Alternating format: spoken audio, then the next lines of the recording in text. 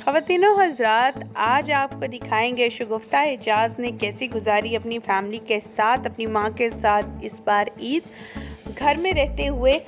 वो कहती हैं, मैं आज अपनी माँ और अपनी बेटियों के साथ ईद गुजार कर बहुत खुश हूँ।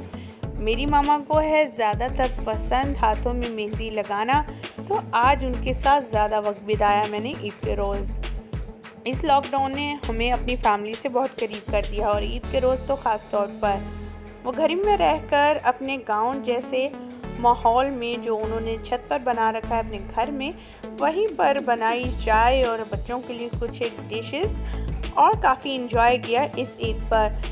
ये तस्वीर ईद से ली गई हैं शगुफ्ता एजाज की। आपको कैसी लगी ये तस्वीर? अच्छी लगे तो कमेंट बॉक्स में अपनी राय से आगाह कीजिएगा। मेरे चैनल को सब्सक्राइब कीजिएगा और साथ में बेल आइकॉन का बटन ज़रूर प्रेस कीजिएगा। मुझे दीजिएगा इसी के साथ इजाज़त। अलानी के